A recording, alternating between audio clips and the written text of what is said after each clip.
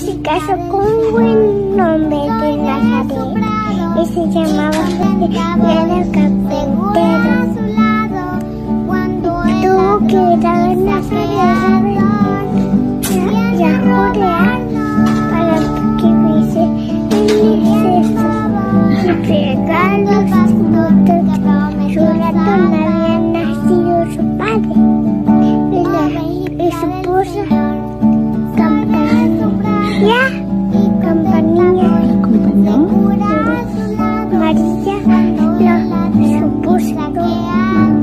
María lo acompañó cuando llegaron a Belén y confieso que otros paseros llegaron. Acá estaban devotadas.